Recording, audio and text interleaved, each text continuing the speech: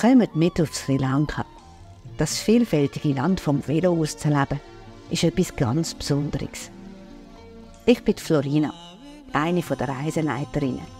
Und ich möchte euch gerne mitnehmen und lustig machen auf die wunderschöne Insel. Ein so ein fahrender Dorfbeck, der würde euch dort mit Ayoboan begrüßen.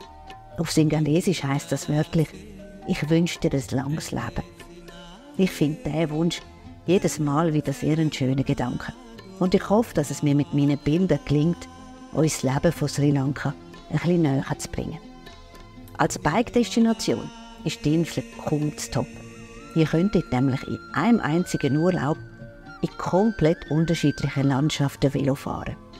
Am Meer, in Tropenwälder oder über Berge mit Teeplantagen oder durch sonnige Steppen.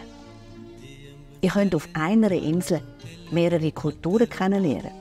Die Singalesen sind Buddhisten und Tamilen, wie die beiden Teepflückerinnen da, das sind Hindus. Außerdem könnt ihr Tiere in der freien Natur beobachten. Und das nicht nur in den Nationalparks, sondern auch während unserer Velotouren. Und nicht zuletzt lohnt sich die Reise wegen dem feinen Essen und dem schönen Hotel. Viele haben einen Pool und am Anfang und am Schluss der Reise könnt ihr im Indischen Ozean baden.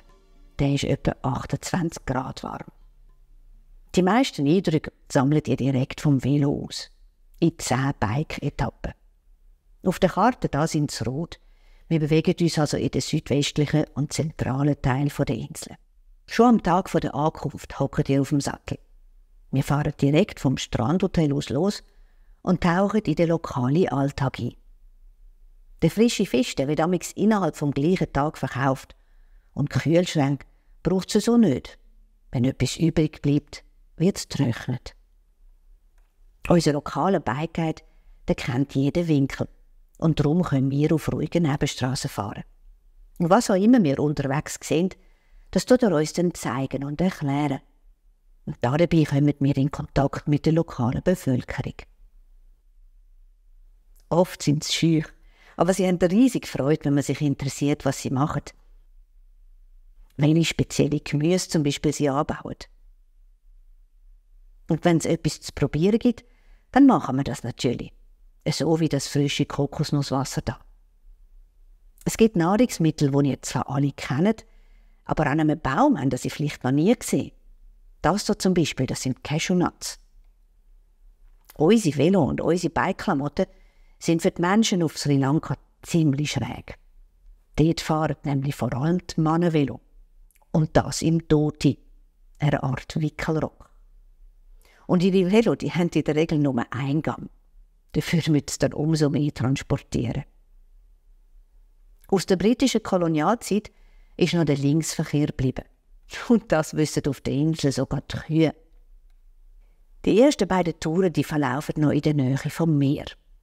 Ihr werdet sehen, wie die Fischer ihre riesigen Netze in Teamarbeit an den Strand ziehen. Es braucht Stunden und ein paar zusätzliche Hände sind da dabei durchaus willkommen. Biker-Handschuhe sind auf dem harten Seil ein klarer Vorteil. Der Tagesfang, den tun sie dann nachher gerade vor Ort verteilen. Am vierten Tag da fahrt ihr durch Landstrich, wo all das wächst, wo man auf dem Markt posten kann. Sri Lanka hat mehrere Klimazonen und die Landwirtschaft ist genau auf die abgestimmt. Reis wird zum Beispiel immer dort angebaut, wo gerade Regenzeit ist. Unterwegs halten wir auch mal in einer Schule. Unser Bikeguide, der kauft dann vorher noch Stift und Heft.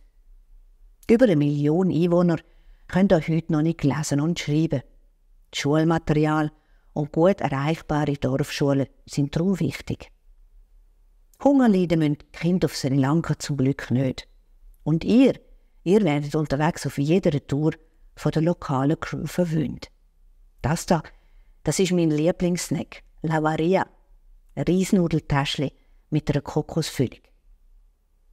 Ich komme da zum Mittag lokale Spezialitäten über und kein Touri-Food. Ein Wahrzeichen von Sri Lanka, den ihr vielleicht schon von Fotos kennt, das ist der sogenannte Loie-Felsen. Wir besuchen den knapp 200 Meter hohen Monolith bewusst früh am Morgen, wenn es dort noch ruhig ist und das Ambiente absolut magisch. Auf dem Weg zum Gipfel sehen Sie die berühmte Freske mit den wohligen. Und die Aussicht vom Plateau, die ist atemberaubend. Von unserem Hotel aus sieht man übrigens auch auf den Leuenfels. Und ihr könnt in dem schönen Pool relaxen. Natürlich kommen ihr auch am Tag mit dieser Leuenfelsbesichtigung zum Velofahren. Wir nehmen für den Weg zu den Höhlentempel nämlich das Velo. Auf Sri Lanka sind 70 Prozent der Einwohner Buddhisten. Die Höhlentempel die sind ein heiliges Zentrum mit über 150 Buddhas. Warum sie so viel sind, das erfahren ihr dort. Am sechsten Tag sind wir wieder auf friedlichen Schleichwegen unterwegs und kommen Einblick in den Alltag der Bevölkerung über. Das Ziel ist die ehemalige Königsstadt Polonnaruva. Die ist oft auch das Ziel von Dutzenden von Schulklassen, die uns zum Teil spannender finden als die Ruinen. Dabei haben die Könige von Polonnaruva viel mit dem heutigen Aussehen der Insel zu tun. Sie haben nämlich vor 800 Jahren 163 künstliche Seen angelegt, dank denen Sri Lanka so fruchtbar ist. Die Seen nutzen die Inselbewohner auch für den Fischfang. Am nächsten Tag kommen wir bei sänigen Langustenfischen vorbei. Mit ein bisschen Glück hat es auch noch ein Krocki auf dieser Route. Wir kennen die Stelle im Fluss, wo es auf einem Felsen zündeln. Und der Bus bringt euch anschliessend noch zu einem Gewürzgarten. Dort werdet ihr in die Geheimnisse der ayurvedischen Heilpflanzen eingeweiht. Die beiden Bikestrecken am siebten und achten Tag im Gebiet nördlich von Candy, die gehören für mich zu den schönsten. Wir fahren vorbei an Baumriesen und durch verwunschene Wälder. Überall hat Wasser und wir kommen das Leben der Bevölkerung in allen Facetten mit über. Durab geht es dann am nächsten Morgen ohne Muskelkraft. Vorbei an den Huna Falls und bis zur Hauptstraße auf Candy. Etwa die tut unsere lokale Crew, so wie da die ganze Fahrbahn sperren, damit ihr gefahrlos könnt abzweigen Auf Abschnitten, die verkehrsmäßig eher heftig wären, die Velos einen Weg verladen. Das gilt zum Beispiel für die Straße auf Candy, wo wir aber unbedingt hinwollen, wegen dem einzigartigen botanischen Garten. Dort sind nicht nur die Pflanzen spannend, sondern auch die Liebesperlen, die sich heimlich treffen. Es hat extra Wachposten, die den mühsamen Job haben, sie vom Schmusen abzuhalten. Das zweite Highlight Candy ist der sogenannte Zahntempel, wo die Buddhisten einen Zahn von Buddha als Reliquie verehren. Das goldige Türli von dem Schrein, das geht nur dreimal pro Tag ganz kurz auf. Und dann herrscht totaler Stress. Schon Stunden vorher kann man Mönch beobachten, wo voraus betet. Und der Duft von der frischen Opfergabe im Tempel, der ist mehr wieder intensiv. Am neunten Reisetag könnte die ehemalige Inselhauptstadt Candy dann auf eigene Faust erkunden und dabei zum Beispiel ein paar Spezialitäten kaufen. In einem Gewürzläderli haben wir das letzte Mal einen Eigentümer angetroffen, der uns in einem Stolz die Fotos von seiner Schweizer Reise gezeigt hat. Am Mittag steigt ihr dann in den Zug, wo euch auf fast 2000 Meter Höhe schaukelt. In Norelia herrscht ein komplett anderes Klima. Die englischen Kolonialherren und Teebarone haben sich amix dort auf zurückgezogen.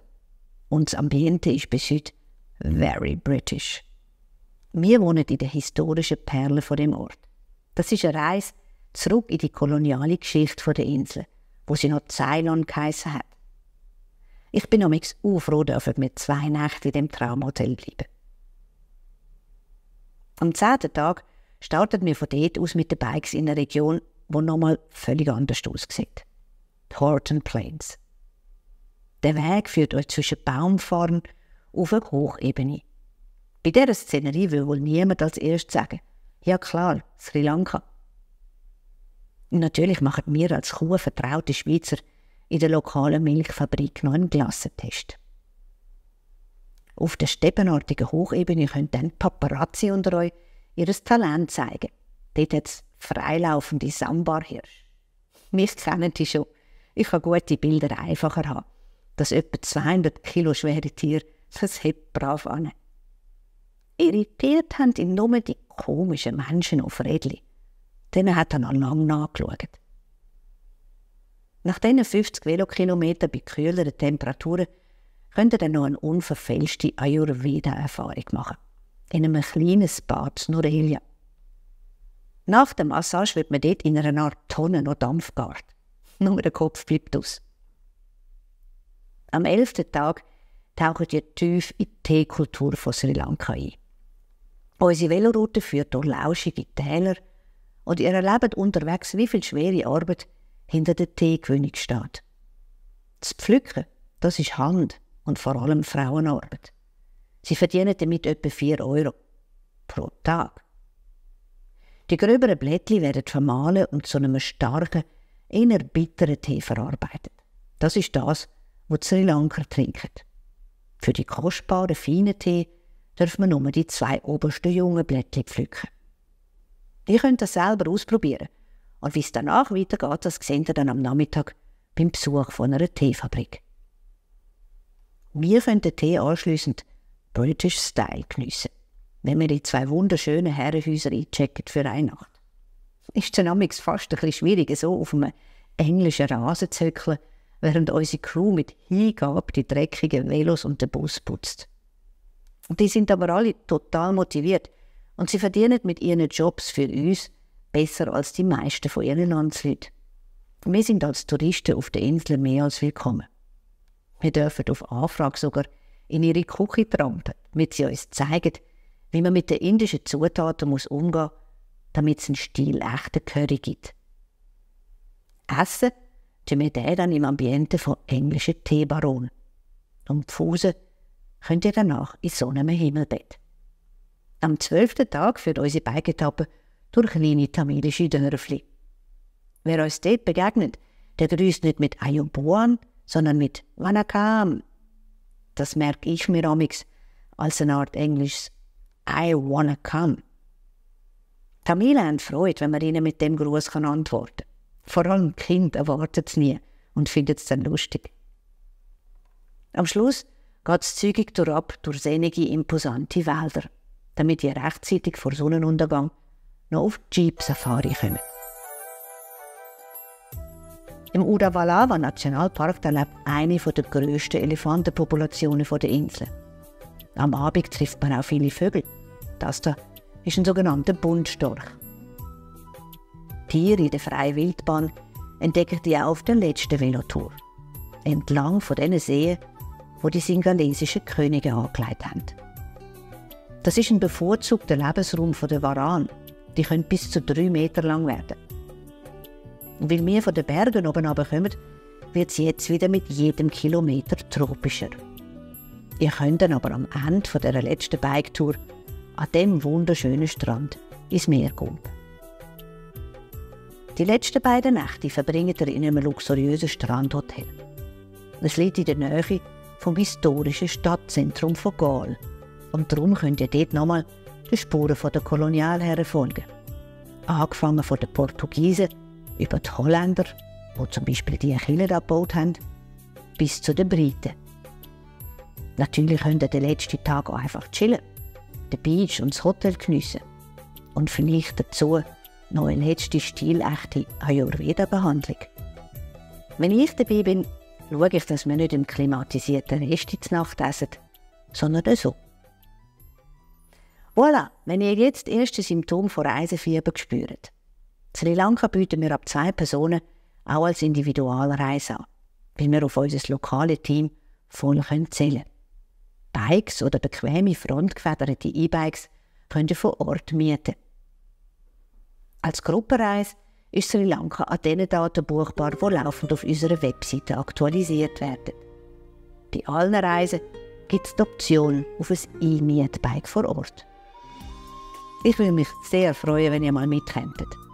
Und mit ein paar weiteren Bildern wünsche ich euch Ayoboan.